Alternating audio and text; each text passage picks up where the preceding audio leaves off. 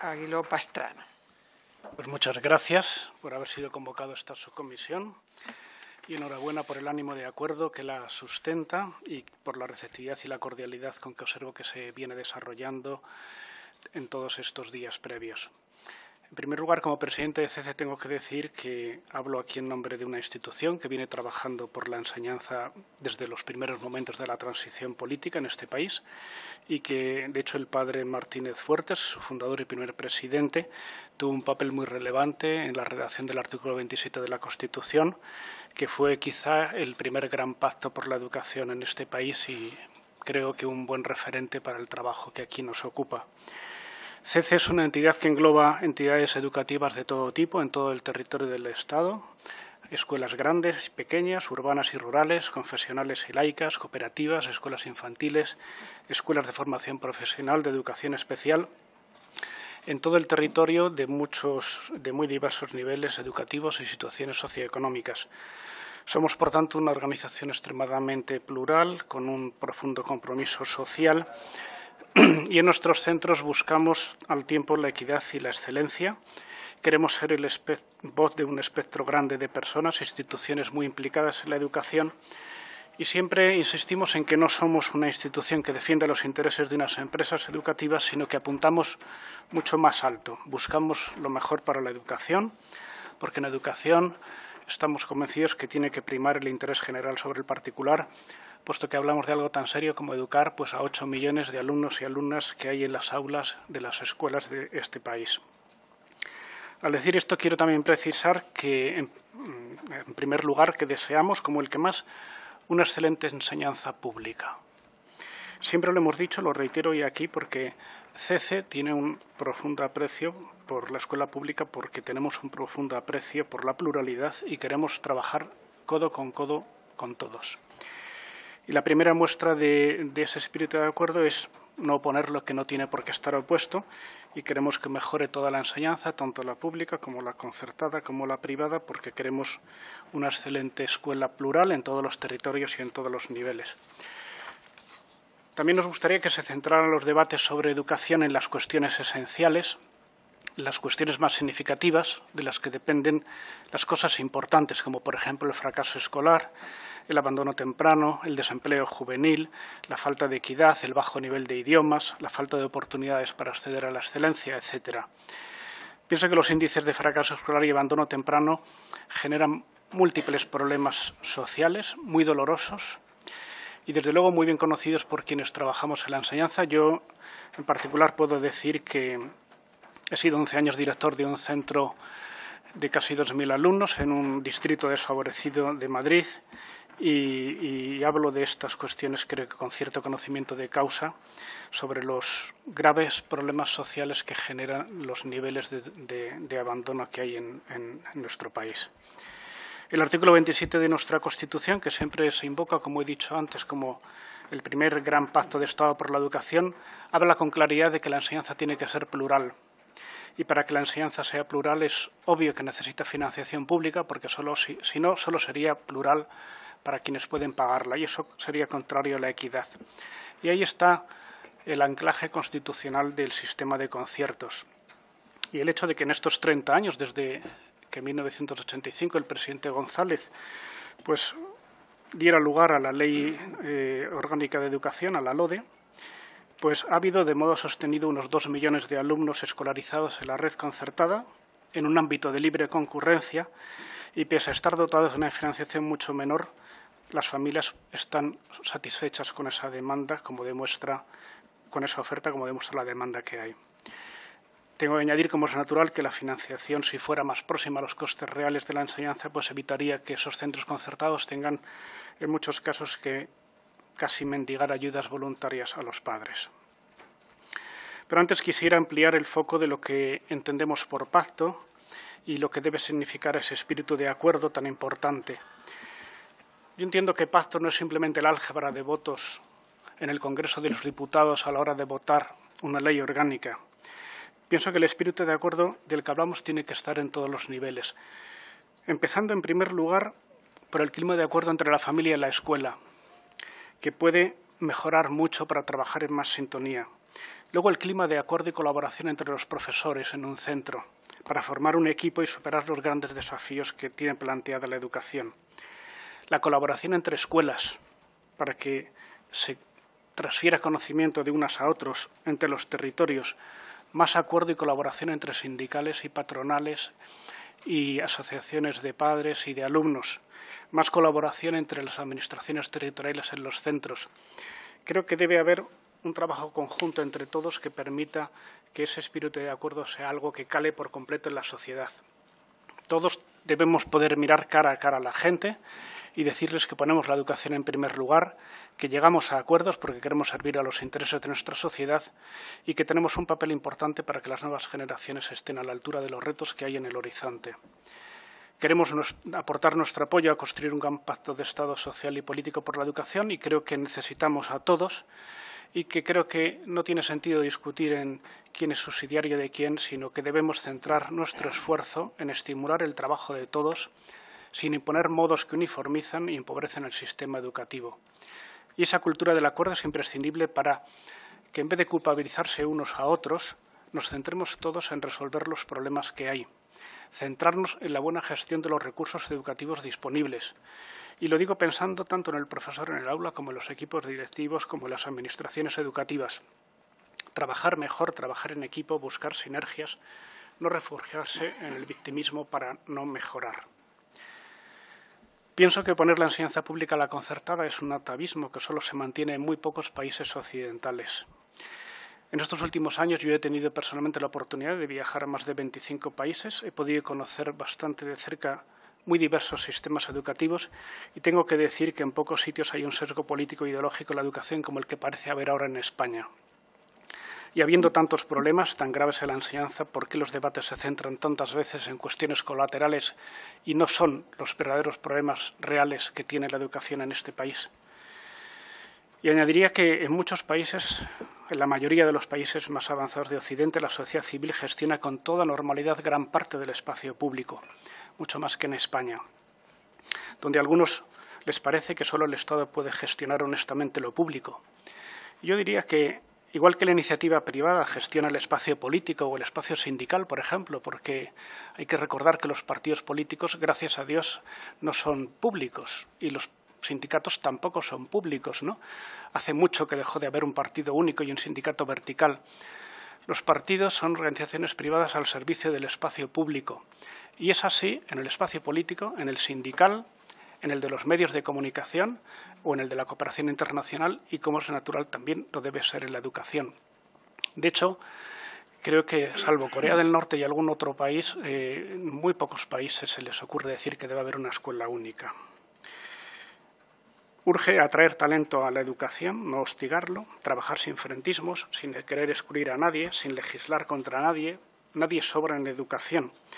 Y nos preocupa, como decía, que surjan propuestas estatalizadoras que pretenden ahogar la enseñanza concertada para establecer poco a poco una escuela única, como si la escuela única fuera el paraíso de la igualdad de oportunidades. Porque la enseñanza concertada no existe para llegar a donde no llega la pública o porque sea más barata, sino para que todos puedan elegir escuela financiada dentro de una oferta plural. Y esto es una necesidad si se quiere que haya al tiempo equidad y pluralidad. En una sociedad democrática no cabe el sindicato único, ni el partido único, ni la prensa única, ni tampoco la escuela única. Y hay que evitar ese frentismo entre pública y concertada, porque son retóricas que contaminan el debate. Apostamos por una educación de calidad, plural, accesible a todos y apostamos por la equidad, por la igualdad de oportunidades y por una buena educación sin apellidos, sea pública, privada o concertada. Y pienso, como ha dicho eh, otras personas que me han precedido aquí en uso de la palabra, que el mayor enemigo del pacto es el poco amor a la pluralidad, el deseo de legislar contra otros en vez de construir espacios de diversidad y de encuentro. El gran enemigo del acuerdo es la voluntad de combatir al otro, hacer ostentación de las diferencias, impedir que haya espacio para soluciones diferentes a las que uno más le gustan. Eso sería como legislar dificultando la diversidad de partidos o sindicatos o favoreciendo a los que más a uno le gustan los partidos y los sindicatos reciben por ley dinero público según el número de representantes que otorgan su confianza a los ciudadanos. Y en educación debe suceder algo parecido. Los centros deben recibir financiación en función de cuántas familias les otorgan su confianza eligiendo ese centro. Los marcos normativos generales no deben ser ideológicos, sino abiertos a todos. La Ley Orgánica de Partidos de 2002 o la Ley Orgánica de Libertad Sindical del 1985 así lo disponen. Y obviamente debe suceder lo mismo con las leyes de educación. La ley obliga a financiar a los partidos y sindicatos sin condicionar a su ideología o a que gusten más o menos a quien gobierna. Lo mismo debe suceder con la enseñanza para que sea realmente plural. Y la consecuencia inmediata de todo lo que acabo de decir es la necesidad de atender la demanda social para fluctuar la planificación educativa de cada curso escolar. En cuanto al porcentaje de PIB dedicado a la enseñanza, deseamos, como es natural, que se incremente la financiación y pedimos que haya una reversión de los recortes habidos tanto en la enseñanza pública como la concertada en cuanto esto resulte posible. Somos partidarios de evaluar el trabajo de los profesores y de los centros. Eso no significa hacer ranking o clasificaciones de centros, ni considerar que todo se mide simplemente como resultados. Sin confundir calidad con resultados, porque sabemos que hay centros de gran calidad en distritos desfavorecidos que logran quizá peores resultados, pero logran socializar y sacar adelante a personas en situaciones de vulnerabilidad. Estamos a favor de la evaluación porque debe haber una rendición de cuentas del dinero público invertido y, sobre todo, de la responsabilidad que supone asumir la educación de personas. La evaluación sabemos que es fundamental para lograr avances significativos, pero debe ser una evaluación bien hecha, que ayude a cerrar las brechas sociales. Excelencia y equidad deben exigirse mutuamente, puesto que la equidad, precisamente, es hacer posible el acceso a la excelencia, a cada uno hacer posible rendir su propio talento. Y queremos evaluaciones que no estigmaticen a nadie, que no conduzcan a clasificaciones indiscriminadas, que sirvan para detectar quién necesita ayuda y para dársela. Estamos también a favor del MIR educativo, una propuesta en la que, por fortuna, bastantes partidos coinciden y que debe hacerse así con objeto de revalorizar la función docente. Deben mejorarse los procesos de selección, de formación y de evaluación de los profesores, de modo que se logre evitar el elevar el prestigio social del profesor, fundamental para hacer bien su trabajo. Vemos urgente también incrementar la financiación pública del tramo de cero a tres años, de modo que se facilite e impulse la maternidad, la natalidad, la conciliación, la formación temprana, todo ello dentro de un marco de pluralidad de oferta, pública por un lado y sostenida por fondos públicos, a la familia o a la escuela, por otro, y en proporciones similares a las que hay en el tramo de tres a seis años. Se ha hablado mucho desde diferentes partidos de que la financiación pública debería cubrir la enseñanza de 0 a 18 años, por nuestra parte, nos parece un avance muy propio de los tiempos en que vivimos. Hoy no es razonable pensar que los 16 años sean de modo habitual una edad apropiada para empezar a trabajar. Por eso es razonable que también la etapa de 16 a 18 años, sin ser propiamente obligatoria, sí esté financiada de modo generalizado. Defendemos que haya oferta de religión en la escuela, como sucede en casi todo el mundo occidental. Pensamos que pueden encontrarse soluciones al debate sobre si es o no evaluable, buscando nuevos espacios de acuerdo, por ejemplo, que fuera evaluable como cualquier otra asignatura, pero no computable a efectos de becas o de promoción de curso. Somos favorables a la asignatura de religión no en primer lugar porque hay unos acuerdos Iglesia-Estado que respetar, sino sobre todo porque es una enorme demanda social, en torno al 63% considerado en su conjunto, y son porcentajes que están en esos niveles desde hace décadas cosa que no se puede obviar si se quiere contar con la voluntad popular. Queremos también que se impulse la formación profesional, flexibilizando los accesos e itinerarios, estimulando su crecimiento, su calidad, su conexión con la empresa y con las necesidades reales del mercado de trabajo. Queremos una FP dual a medida que nuestro tejido empresarial lo pueda asumir, sabiendo adaptarse a cómo es nuestro país y nuestra cultura. Queremos también la participación educativa en los centros, hay una excelente experiencia del trabajo de los consejos escolares, tanto en los centros públicos como concertados. Creemos en la autonomía de los centros, que unida a la rendición de cuentas permite que se diseñen con flexibilidad y con responsabilidad las estrategias necesarias para superar los desafíos a los que se enfrentan. Nos parece que los currículos deben dejar un cierto margen de autonomía a los centros para poder hacer pequeñas modificaciones con las que puedan adaptarse a las necesidades propias de cada entorno específico. La red concertada está y ha estado siempre dispuesta a recibir a todos los alumnos inmigrantes o con necesidades educativas especiales que lo deseen. De hecho, en los centros concertados hay un 25% del total del alumnado del país pero en centros concertados de educación especial hay un porcentaje muy superior del 42% de los alumnos de educación especial de este país. La red concertada se ha manifestado dispuesta a estar aún más presente en el medio rural, en la educación especial, en las zonas donde haya más inmigrantes. Y tengo que decir que si hay unos puntos porcentuales menos de presencia de inmigrantes en la escuela concertada que en la escuela pública, es sobre todo porque en muchos lugares esas personas solo en la red pública tienen comedor gratuito, transporte gratuito, material gratuito o más desdobles y refuerzos. Si la red concertada contara con esas ayudas, bastantes más de esos alumnos optarían por un centro concertado que desde luego les acogería de muy buen grado. Nos parece que la apuesta por los idiomas debe ser mucho más decidida, considerando el retraso histórico de nuestro país en su aprendizaje. Todos los alumnos y alumnas deberían acabar la enseñanza obligatoria hablando correctamente inglés y con al menos un cierto conocimiento de una segunda lengua extranjera.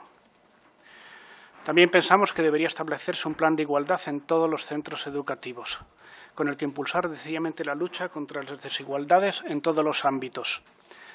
Por ejemplo, me resultó muy interesante ver el interés que ponen en Finlandia en todo lo relativo a la educación en el cuidado.